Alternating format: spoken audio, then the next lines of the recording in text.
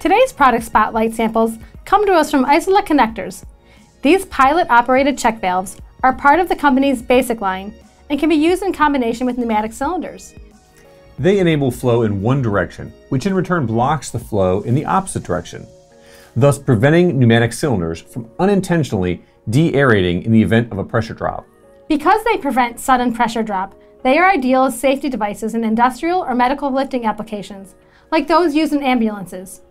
If necessary, users can open the valves by inserting a defined pressure and force to ventilate the cylinders. The company's Series 25 swivel joint can be used as a connection supplement, allowing activation through compressed air. It can also be used with manual activation. The pilot-operated check valve is made of nickel-plated brass and is designed for a working pressure range of 1 to 10 bar and a temperature range of negative 10 to 70 degrees Celsius. The series is available in four sizes, 1 8 1 quarter, 3 8 and half inch. Here we have the eighth and half inch sizes. For more information, visit eisele-connectors.com.